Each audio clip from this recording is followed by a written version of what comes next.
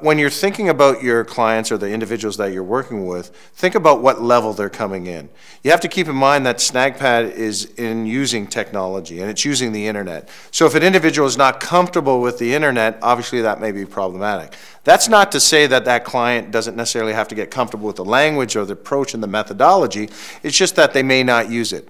On the other hand, when you think about digital literacy and how important that is in today's world of work, putting them on SnagPad could give them that confidence that they need to go out there and find a job with any type of employer that they may be looking for. But looking at the different level of job seeker is really critical to getting the most out of SnagPad. If you have somebody that's working part-time versus full-time, or somebody that's new at the job search and looking for their first job, or somebody that's been around for a while, it all has to factor in on how you introduce SnagPad to them.